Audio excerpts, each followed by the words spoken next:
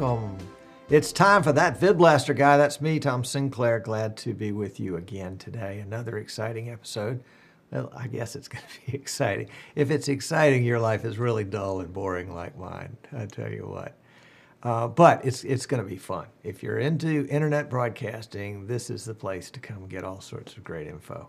The, the premise here is that one guy with one PC can do one awesome broadcast if you've got the right software. I think I think VidBlaster is the right software. And broadcasting is a lot of fun. If you've got a passion for something and you want to bring it to the rest of the world, and I mean literally the world, you can do that with one PC and, and VidBlaster. Today we're going to be talking about how to do it for church broadcasting and that's going to be a lot of fun. And then t- towards the tail end of the show, we'll be announcing our second winner in the VidBlaster giveaway contest. Ooh, that's going to be, and it was a really good video too. I was really excited about that. But it's not too late if you're thinking about entering. I mean, it's too late for today.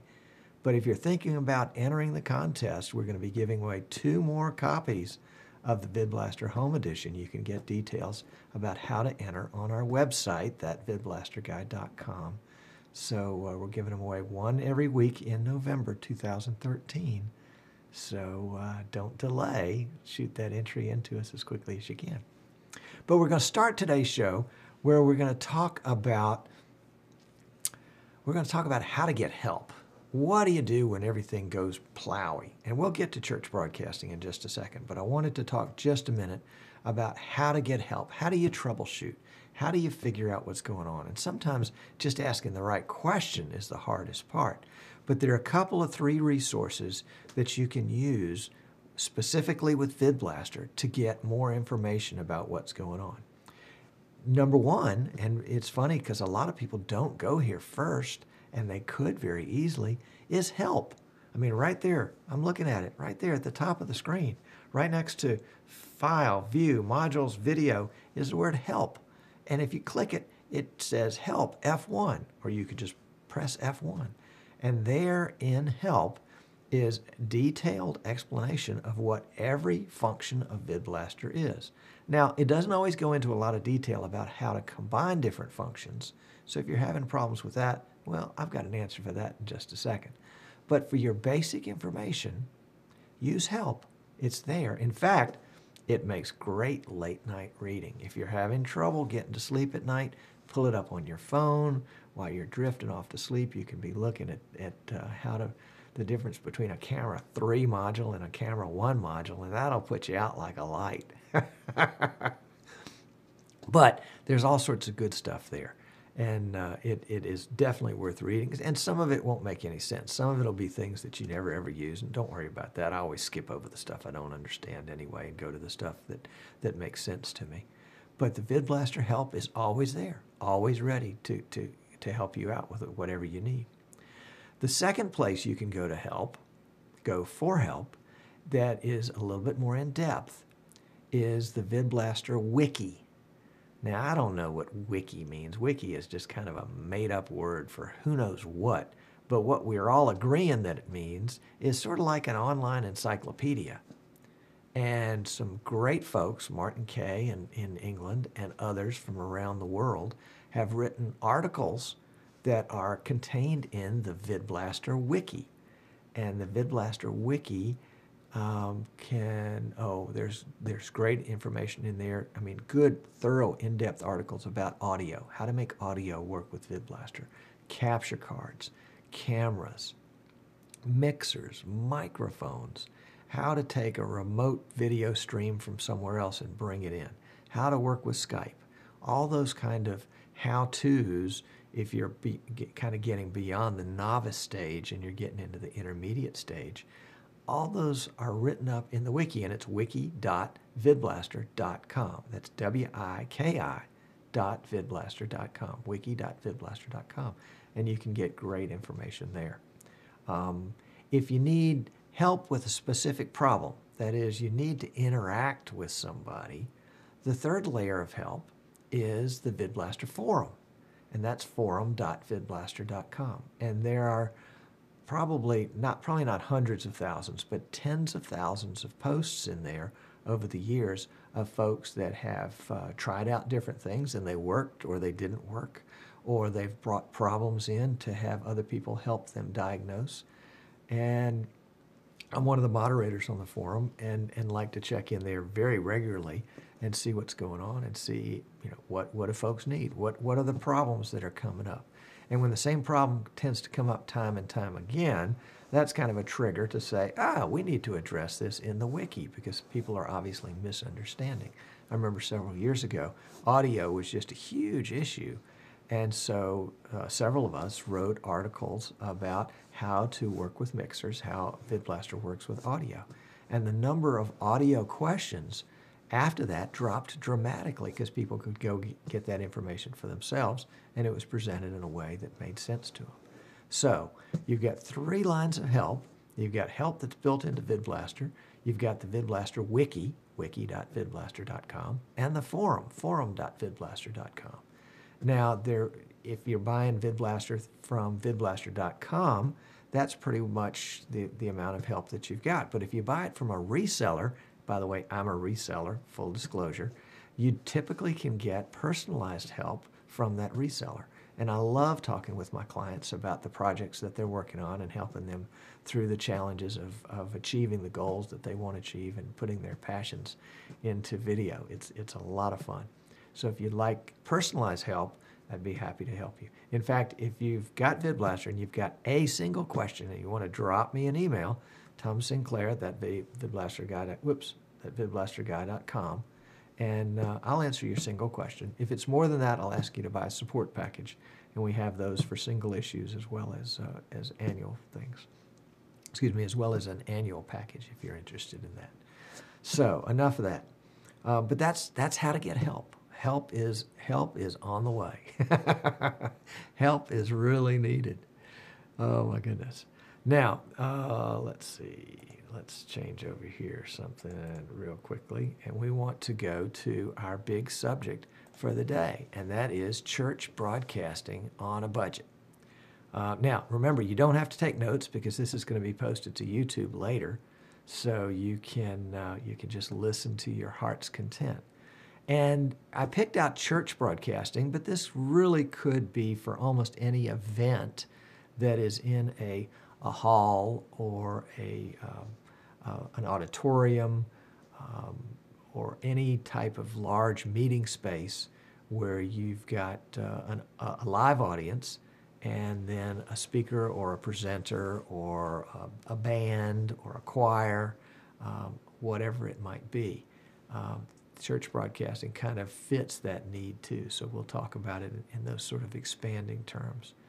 Um, but why would you want to do this? Why would you want to get into specifically church broadcasting? Well, I can think of one great reason. And I've got a I've got a friend from my church whose whose wife is I, I, I don't know that she's terminally ill, but she has been ill for a long, long time and and can't get to church. And he is her sole um, her sole caregiver. So if she doesn't get to go to church, he doesn't go to church and to have the ability for them to stay in touch with what's going on in church, uh, the sermons and the prayers or the music or whatever it might be, um, just makes them feel less isolated and more a part of what's going on. There's a great reason to do it right there. Another good reason to, to broadcast your church services is for folks that travel. I was on the road uh, last weekend uh, on the way to, to a different city where my son and daughter-in-law live because we were expecting a baby. Or they were expecting a baby. I wasn't expecting a baby. It was a boy, so I'm a granddad again. And and it would have been nice. I, I, didn't have time for it, but had I had it, it would have been great to sit down and, and, and participate in the, the church service, and uh, even from a distance, and listen to the sermon and stay in touch with what was going on.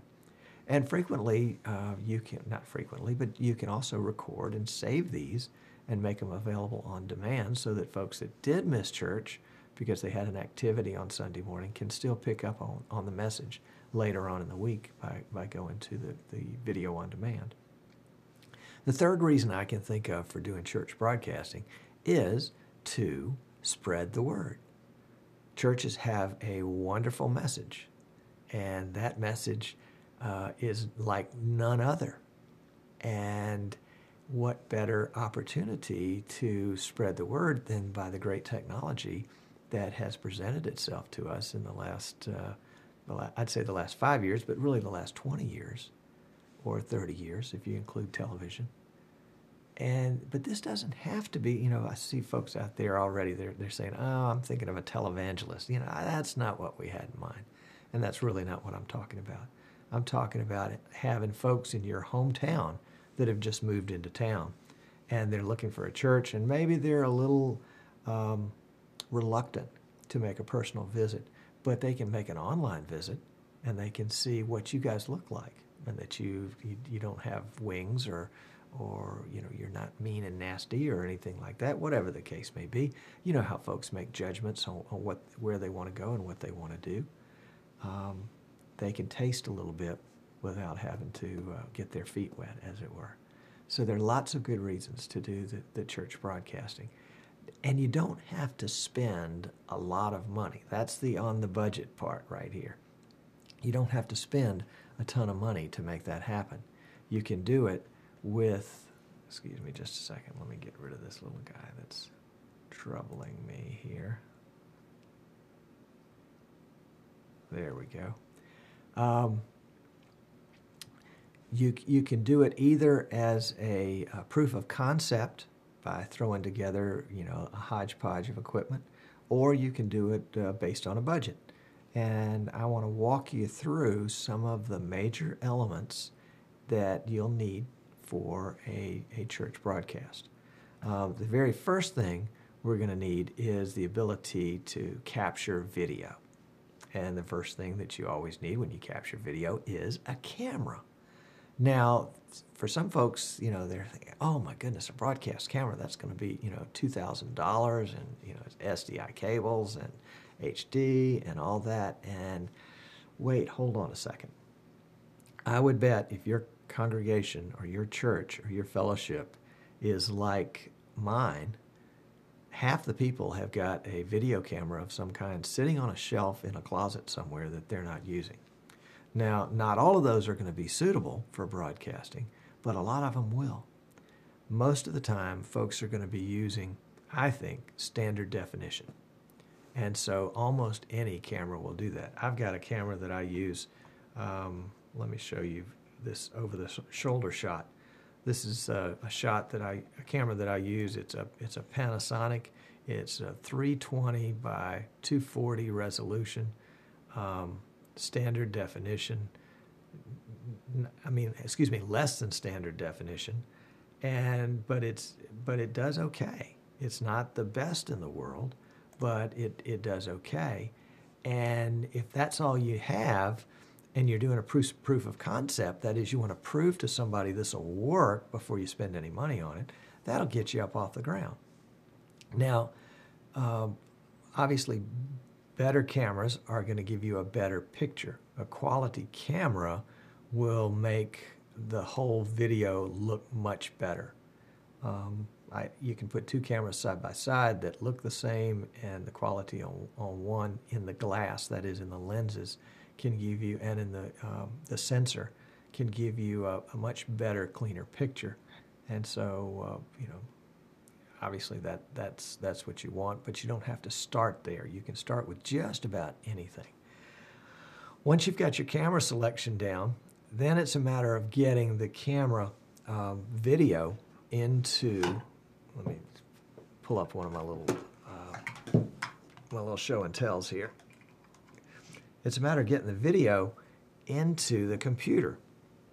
And so you're going to want to, most, most cameras will come with a cable like this one.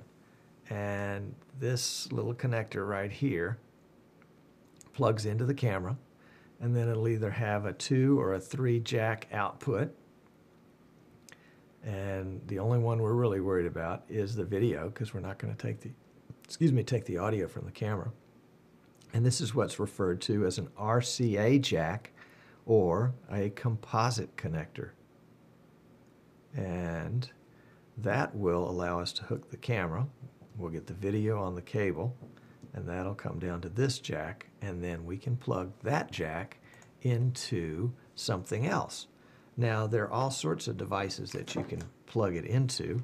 Uh, here's an old one that uh, I used for a long time called an EasyCap. And it, it plugs into the USB port on your computer. And as you can tell, it's got a matching video connector. Again, we're not worried about the audio. If you've got S video coming out of your camera, you can use S video on that. But um, there's so many different versions of this good old EasyCap on the market today that that and some work well and some don't. But if you're not sure, um, my recommendation is that you go with the EasyCap.tv. They sell them uh, in Europe and in the U.S. EasyCap.tv. It's about 30 bucks U.S. And again, it allows you to connect one camera to the PC through the USB port.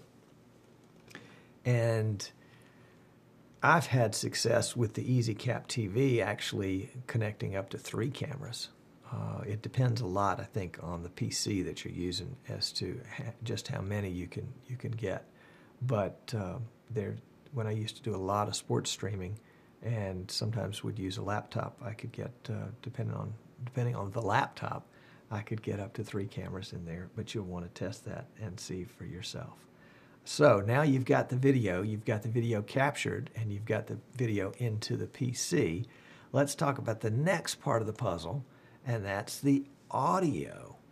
Now, a lot of churches will already have a audio function in the church. That is, they'll have a microphone and a PA, and somewhere between that microphone and that PA or the speakers, will be a mixer, an audio mixer or soundboard. It comes by lots of different names.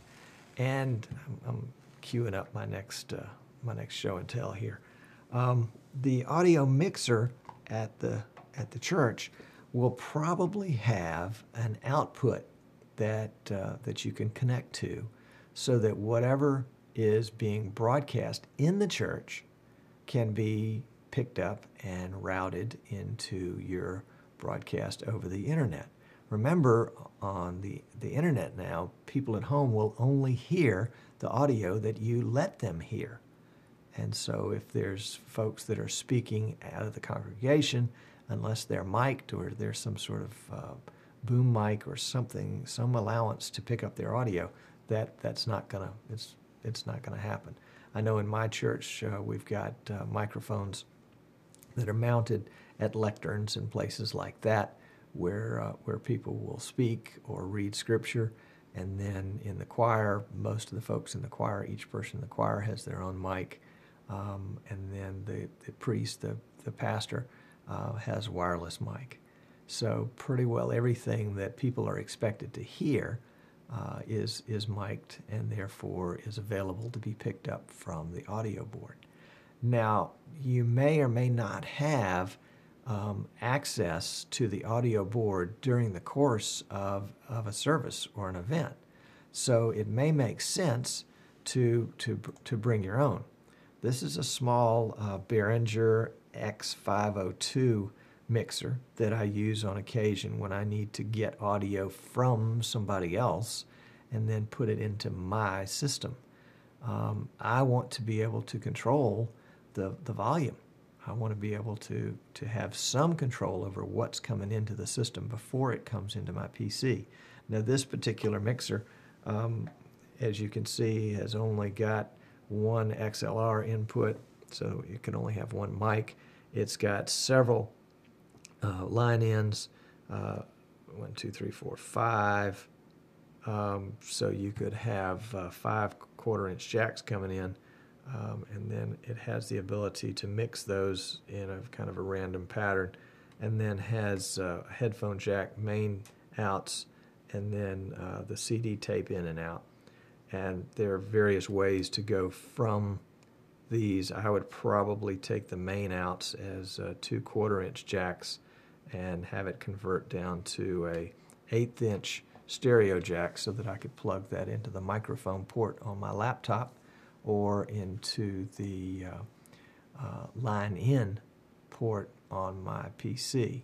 if I had a mixer that had USB, uh, like the, the USB version of that mixer or other USB mixers, then, then that wouldn't be necessary. I can just plug the one cable in. Um, the, um, the other thing about audio is if the church doesn't have its own sound system, then you're going to have to pretty well rig it up yourself. And one of the easiest ways to do that, I think, is probably, and again, let me cue up my, my goodies here, uh, is probably going to be with, with a wireless system.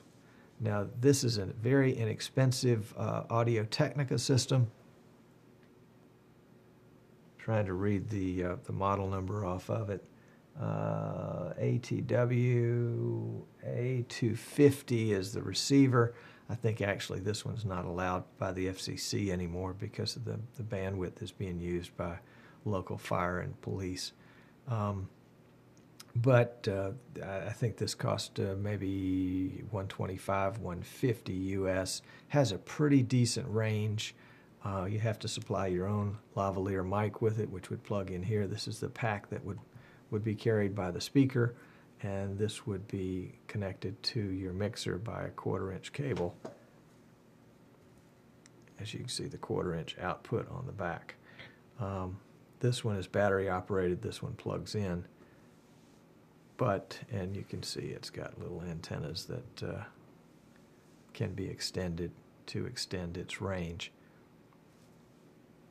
So something like that is a great way to, to pick up uh, an, an, extra speaker, um, or if you're in a, in a venue that doesn't have any sound of its own, uh, you can pick up just that audio from the speaker for your broadcast only.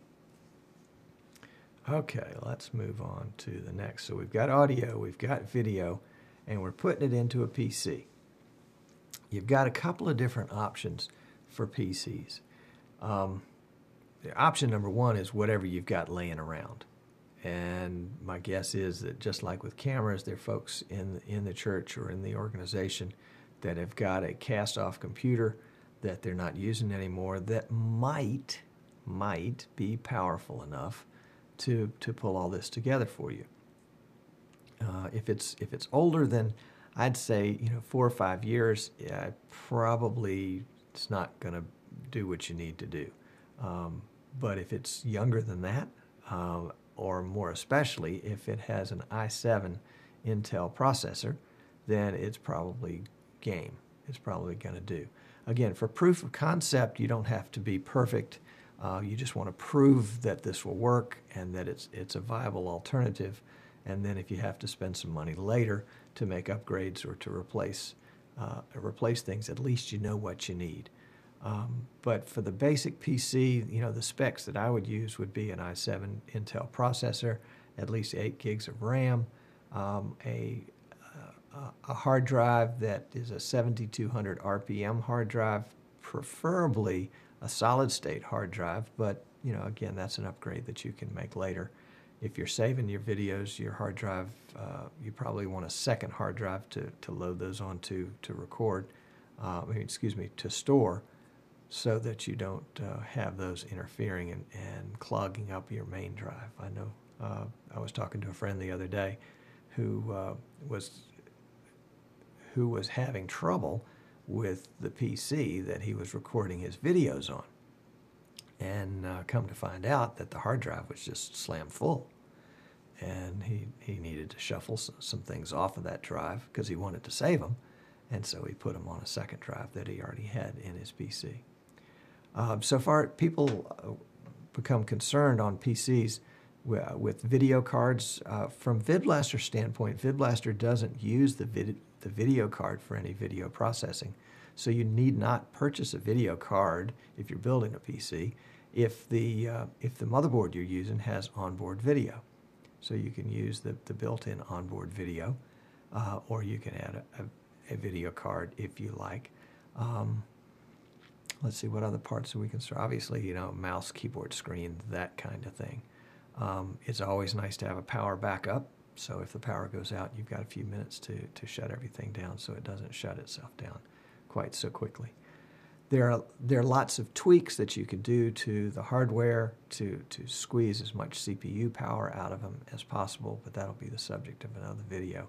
We're just trying to give you the overview here at this point. So you've got your audio, you've got your video, you've got both of those coming into your PC, and now it's time to talk about software.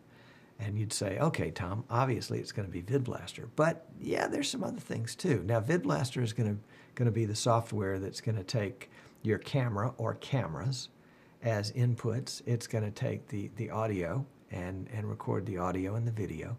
But VidBlaster can also allow you to play um, some soft music while you're waiting for things to get started, music that only the folks at home will hear.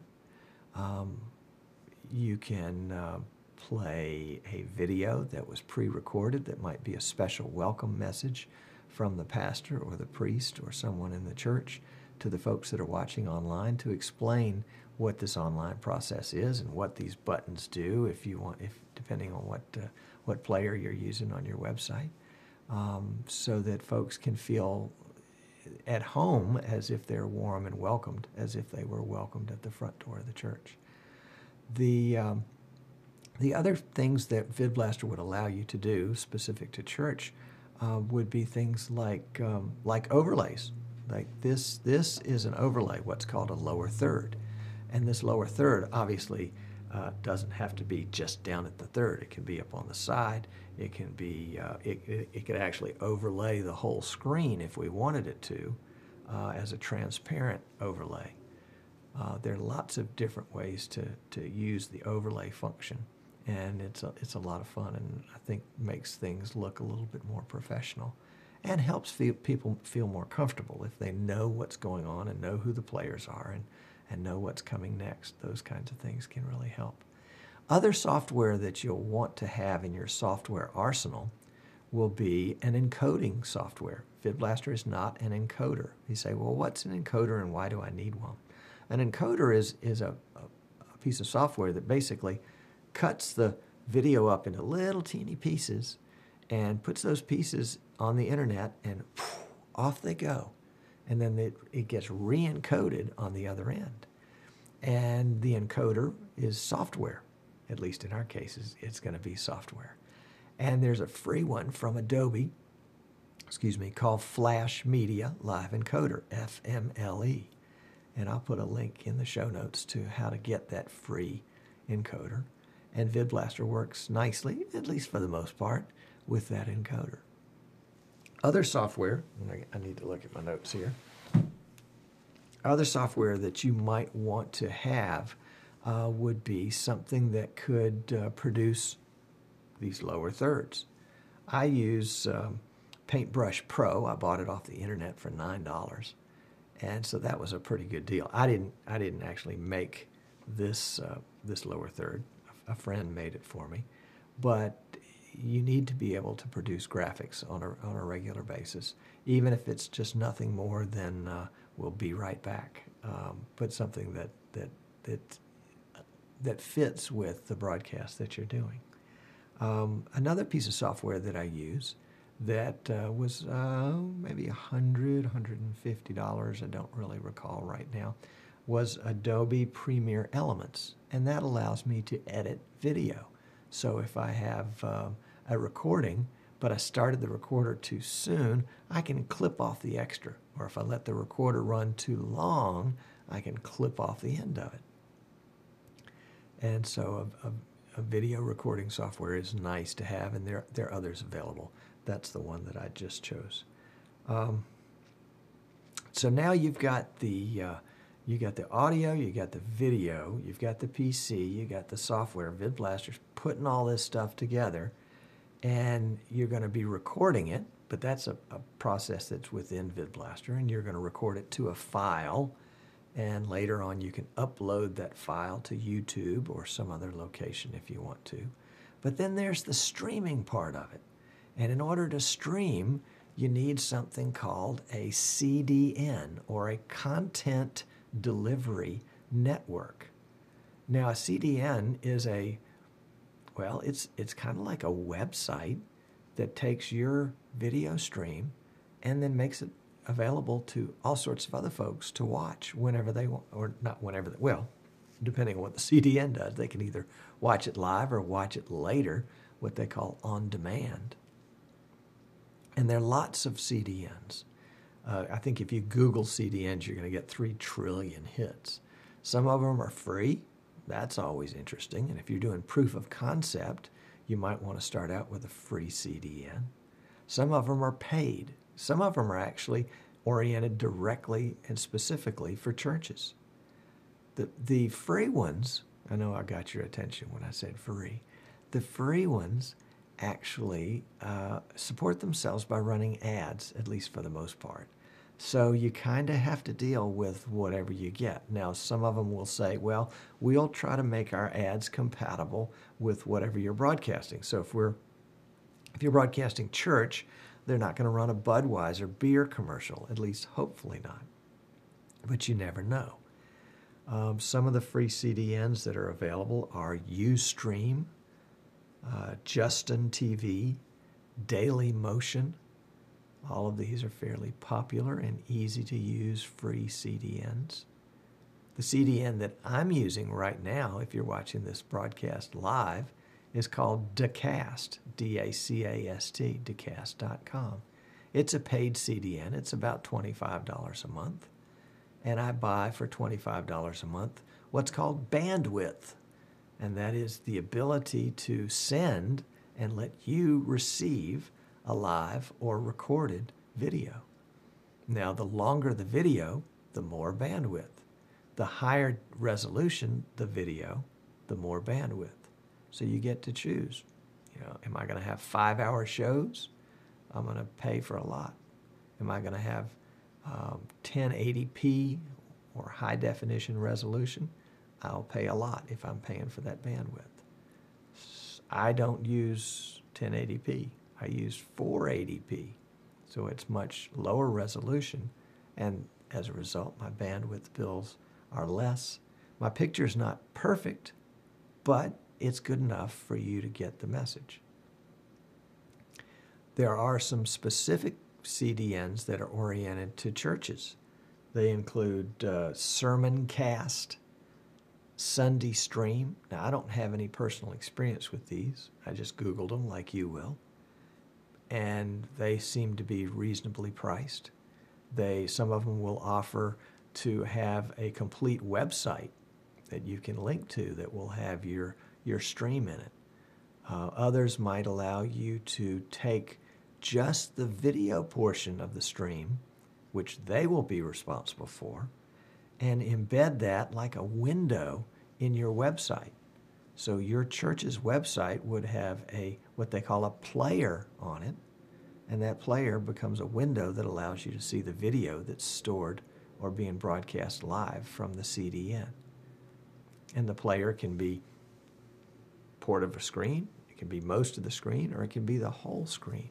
Or people can adapt it to different sizes depending on what they want to do. If they want to watch it from across the room, they would go full screen and if they just wanted to have it sort of running on the side while they were doing other things, they might have it as the, the smaller version. And so the CDN would provide you or, or the webmaster for your church website with embed codes that would go into the, the website to allow the player to appear. It's probably more complicated than it sounds. so you've got the CDN that's, that's receiving the broadcast from you and it's sending it out to all the folks that want to watch. And the CDN can do it one of two ways. They can broadcast it live and or they can record it or you can record it and send it to them later and then people can watch it later on demand. So that's going to be the video, the audio, the PC hardware, the software, and now the CDN. Now it's time for everything else. Where are you going to put all this equipment in the church?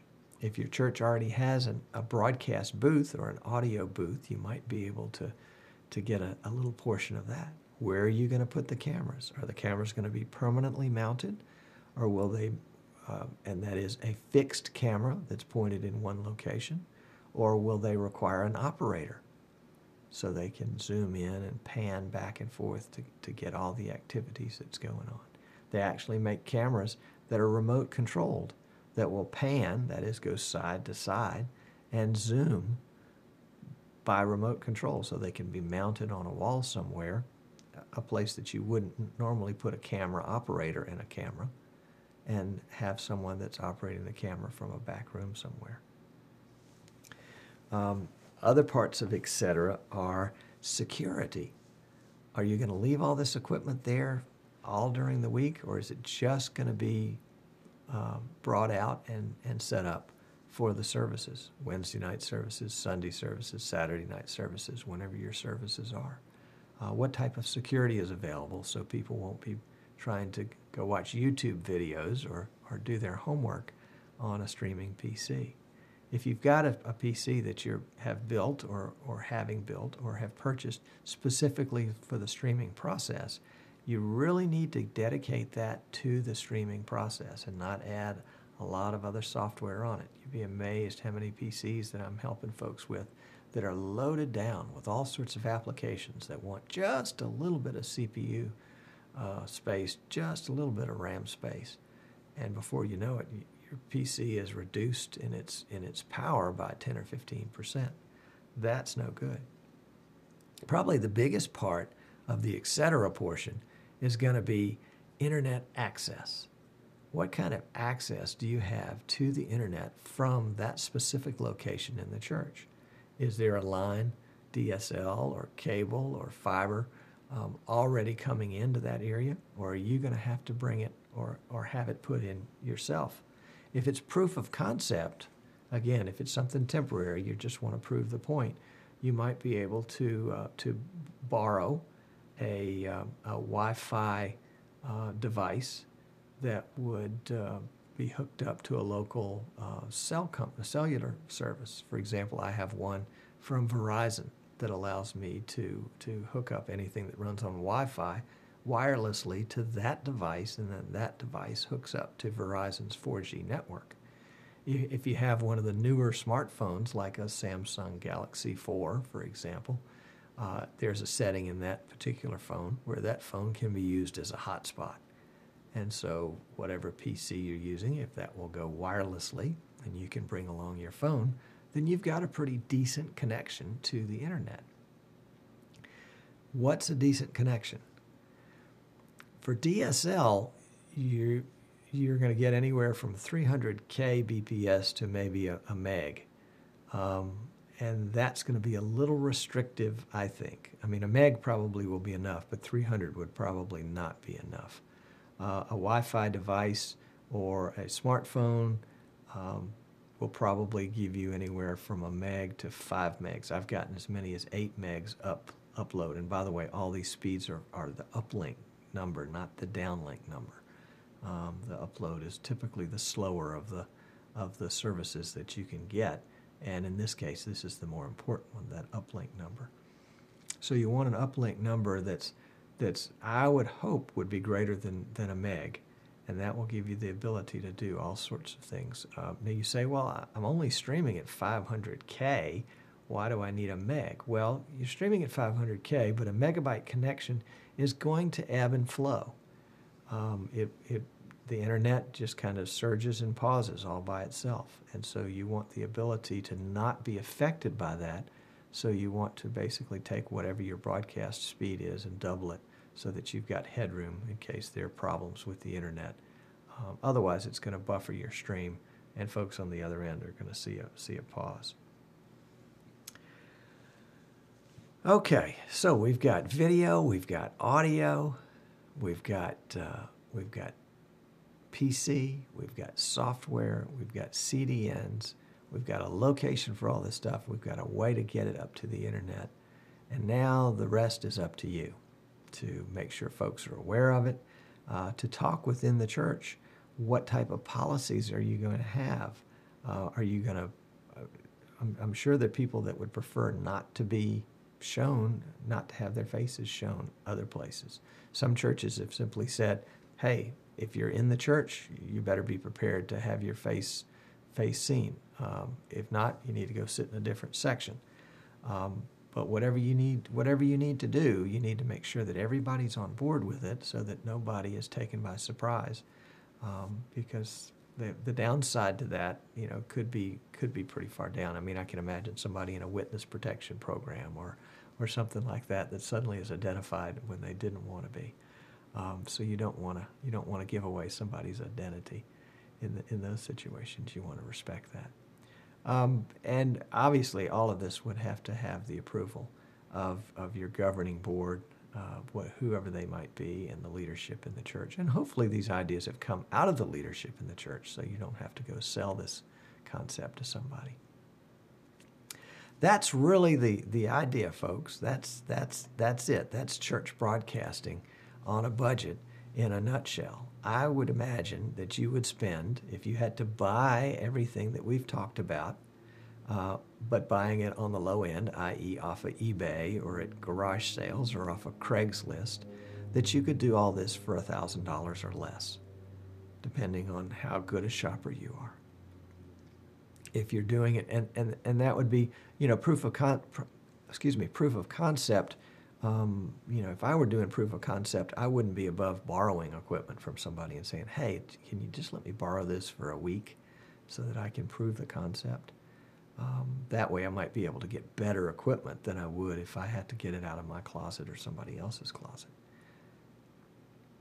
If you want to do this uh, more than just proof of concept and you're looking for a long-term installation, uh, be prepared to spend three, three or four thousand dollars on everything, and that's you know cables and and tripods and monitors and keyboards and PCs and softwares and cameras and, and mixers and mics and, and all that you might need to put it all together. When all is said and done, that's about the budget that you're going to do for, for a fairly basic setup. If you're talking about HD with uh, several cameras, um, you know, remote a remote control camera can go thousand dollars uh, by itself.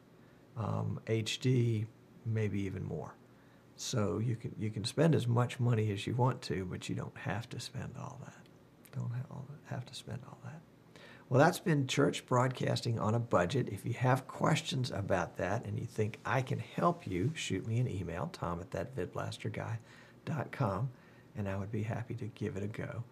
Um, and if you want to see some examples of church broadcasting, um, my goodness, Google church broadcasting and you will pick up hundreds and hundreds of, or, or Google uh, church CDN or church webcasting or church streaming, and you will see probably thousands of churches out there of all shapes and sizes, of all flavors and colors that are doing broadcasting. And some of them are doing it very well, and some of them are doing it very poorly, but they're doing it, and that's that's the important thing because you have to start somewhere. You, you, can't start. You can't. You can't be perfect first time out of the box. That's for sure. I, I, I can vouch for that on that VidBlaster guy. Okay, well, that is the subject, our main subject for today. I want to move on now to um, to our giveaway contest we are giving away a home edition of that of, of that VidBlaster guy of excuse me of VidBlaster software. Uh, value in the United States of 195. Now, if you already have VidBlaster and uh, you're interested in this contest, well, we will give you that much in credit towards an upgrade, a, a version or an edition upgrade, if you want to upgrade your VidBlaster. The um, the contest winner this week um, let me get my notes here. Um, actually used seven modules. Of course, that that was the that was the restriction on the seven modules, and uh, he used a, a, recorder module, obviously, so that he could record the show. He used a monitor module, obviously, so that there was something to record. Uh, he used a player, so he he incorporated some some video into it. He used PowerPoint. He used two cameras and used an overlay and actually used an overlay and did a, a basically let's see let me turn this overlay off and um, we can turn on an overlay like this and I can actually change the text in it um, on my keyboard. So I can write in anything I want to, kind of a quick and dirty text editor. And apparently he used that and then cut and pasted from somewhere else and popped it in, and so was able to get essentially the function of two overlays out of one overlay module. I thought that was pretty cool. Probably the coolest, well, one of the coolest parts of that uh, of that submission was that he sent me his show notes where he had outlined what the show was going to look like and what the, what the resources were that he was going to use, and even some some footnotes and references to to websites where he'd gotten the information. So I thought the show was very well documented, um, and want to uh, award the second prize, the, the second first place prize, the second first place prize, to uh, Timothy McGowan for his video called um, that. Well, what, what that scanner guy that scanner guy. Now that has a certain ring to it, doesn't it? That scanner guy. Well, let, let me show you the video. Here is, here is Timothy McGowan. Congratulations, Timothy.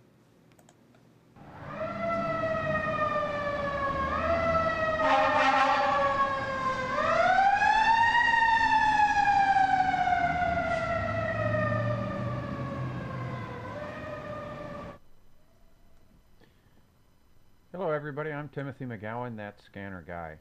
Now, the intent of my show is what's commonly called police scanners are pretty popular amongst people. And uh, I work for the fire department, got 34 years in the fire service, and a lot of people like listening to the fire department. The problem is they don't necessarily understand what they're hearing.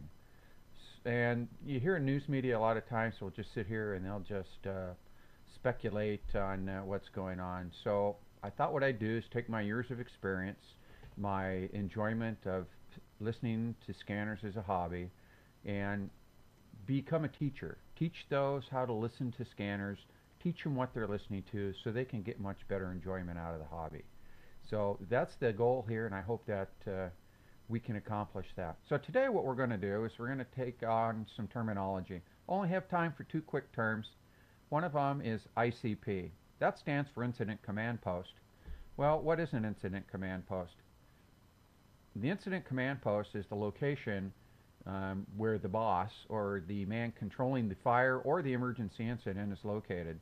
It's the incident uh, base more than likely. Sometimes it's just the back of the battalion chief's suburban. Could be the fire captain, so it's at his fire engine. On a major wildland fire like we have in Southern California, it may be at a community regional park uh, and take up acres and acres of logistics and support personnel and equipment. So incident command post is that what's here to uh, assist and function in the incident command system. As you see here on the chart, it starts with the incident commander. That's usually the first arriving person on scene. And then we'll get bumped up to higher ranking officers as they start to expand this structure. Now you see it's quite complex. Well, not every incident needs that. A simple house fire, you may only fill a couple of those positions, but you get the idea. The other term we'd like to talk about is a strike team. What is a strike team? Um, pretty commonly used uh, terminology in, in the incident command system, and that is a strike team is a grouping of like kind and type of resource to uh, accomplish a goal. It's an easier way. Like if I'm on a wildland fire, I can ask for a strike team of Type 3 engines, and then I know exactly what I get. It's an easier way of ordering, uh, and it just makes things a whole lot simpler. Well, what do I mean by kind and type? Well, let's take engines as an example because it's what everybody's familiar with.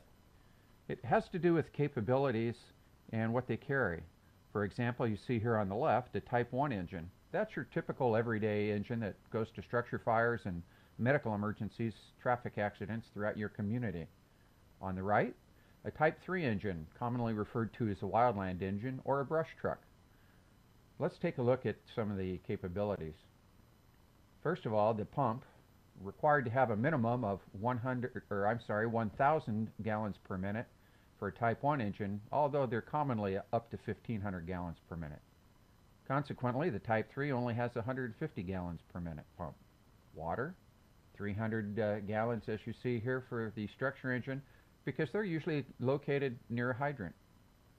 Where out in the wildlands and you have no readily available hydrant, you need 500 gallons for some extra capability. Hose, two and a half inch hose is commonly a large uh, diameter hose for a, a large structure fire. It'd use up water too fast and you really don't need that much water on a brush fire. So type 3 engines don't even carry any. Consequently, a one and a half inch hose line is pretty common for a quick little vehicle fire or structure fire of a residential variety. So a Type 1 engine can carry 500 up to 500 feet. To where the brush truck, the inch and a half hose line is the, our mainstay. That's the hose we carry on our backs and we uh, we unroll and progress up the hill and make our own waterway. So we carry a thousand feet. One inch hose, well, that's typically just a little mop-up hose, and it's great on wildland fires. Problem is, really has no place on a structure fire. So a Type 1 engine doesn't carry any, to where a Type 3 engine does. Now let's talk about bulldozers. Type 1 bulldozer is a heavy bulldozer up to 200 horsepower and is a Caterpillar D7 or D8. Where a Type 3 dozer, it's a lighter bulldozer, only 50 horsepower, and is in the D4 size. What this means is maybe you have an area you need to get a bulldozer into, but it uh, the big dozers won't fit. Or because of certain things, you need a lot of material moved, like a big giant mulch pile or something that the D4 just doesn't have enough strength. Then you call in a heavy and you get a Type 1 dozer. I hope that kind of explains how strike teams, uh, the, the uh, class and type, but that doesn't end there. An engine strike team like in my example, I mentioned I'd ask for a uh, Type 3 engine strike team. This is what I'd get. It's five Type 3 engines and a leader. Leader is usually a battalion chief, but it doesn't have to be. Because strike teams have like units with common communications and a leader. And people tend to think of groups of five, but that's not necessarily the case. Because in a bulldozer strike team, or a dozer strike team, you won't get five. You only get two. And your leader. Oh, and the other unit? That's the tender. So the dozer tender, that's the support unit. And what that does is that uh, the swamper will go there, the extra help for the dozer operator. He has parts, tools, and some extra diesel fuel and materials that the dozer strike team will need. So that's kind of uh, what a dozer strike team is like. Okay, although that was just a quick lesson, I hope that gives you kind of an idea what I kind of want to accomplish. Now, in the show, obviously we're going to need some feedback.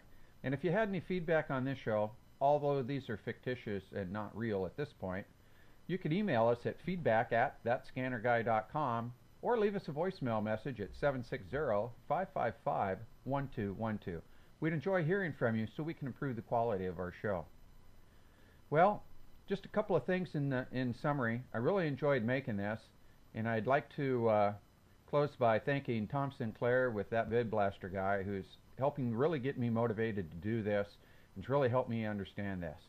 So I hope you vote for me because I'd really like to get this show on the air, and we'll talk soon.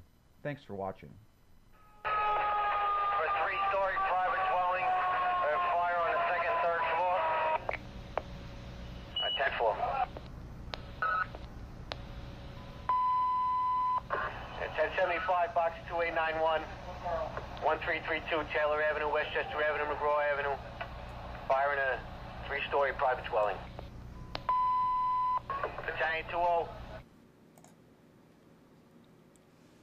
How about that? Well done, Timothy. Goodness gracious. A lot of time and energy went into that. Oh, let me show you this. This is really cool.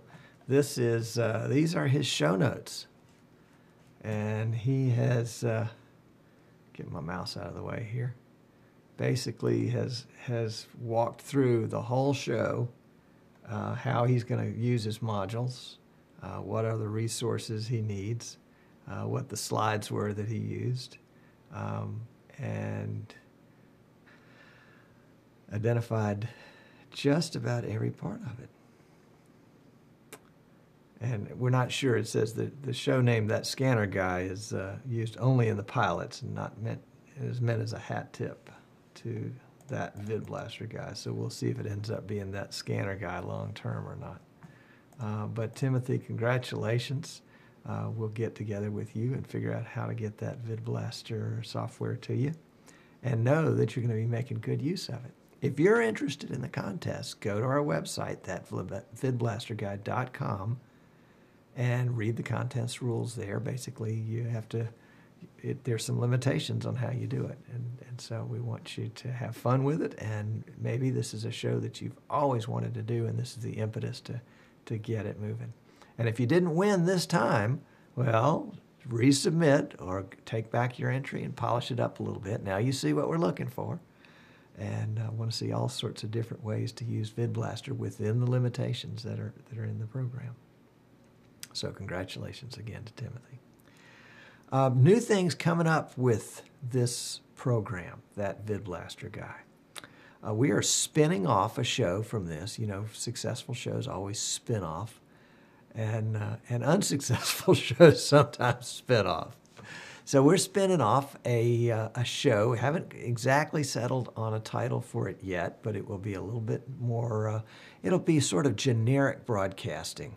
Um, you know, as we went through the church broadcasting portion, for example, you know, VidBlaster was was key to it all, but it was just a small piece of the puzzle.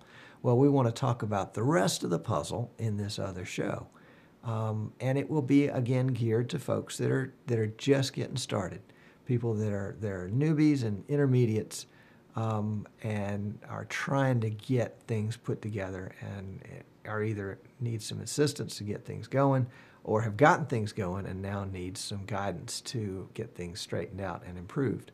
Uh, because once you get past the intermediate level, you don't need to watch a show. You've, uh, you've got it all figured out. You're spending all your time getting your show material together. So the, uh, the, the kind of the core of that show will be built around a, uh, a cadre of co-hosts um, so that uh, the co host doesn't have to show up every week. They can show up once a month, once every six weeks, and when they do, bring a special report in based on a piece of hardware or software or a gadget or a concept, um, whatever it might be, to share with the rest of the bunch. So if you're interested in being one of that cadre of co-hosts, we're taking names, taking numbers. Shoot me an email, tom at thatvidblasterguy.com. I'd love to talk to you about it, and I'm delighted with the folks that uh, that I've talked with so far. Those, especially those that have said yes. There's some that said, oh, "I'll think about it," and and if I haven't asked you specifically, I probably just haven't gotten around to it. So don't take that. Uh, don't take that to heart. Shoot me an email and let me know that you're interested, even though I didn't ask you specifically. Um, the other thing that we're doing with uh, with a new show is uh, we're spinning off a uh, oh, what's the best way to call it? Well, it's going to be VidBlaster 101. That's we've already got the name for it, and it's going to be intended for folks that are just getting started with VidBlaster. For example, if uh, you purchased from our store at thatvidblaster.com a license to VidBlaster, let's say it was the home license, the it would come with a free subscription to VidBlaster 101. And in VidBlaster 101 would be a series of 10, 20, 30, not sure exactly at this point, uh, short instructional videos of how to use VidBlaster and how to connect cameras, connect audio, all the kinds of things that we talked about with church broadcasting today, but in, in much more detail for somebody that's just starting out, assuming that they don't know anything, but they have a passion and they want to make a broadcast. So VidBlaster 101 will be for will come free with every version of VidBlaster purchased from my store. And if you bought VidBlaster from somebody else and you still want it, you can get a subscription to it, and we'll have more details on that as it becomes available. Um, for folks that are in the intermediate stage, uh, we'll be starting VidBlaster University before too long. That may take a little longer to get off the drawing boards. And that'll be geared more towards folks that are doing more intermediate stuff. They don't need the newbie assistance anymore. Uh, they're ready to, to go on and do, uh, do bigger and better things. So three new shows coming up in the future.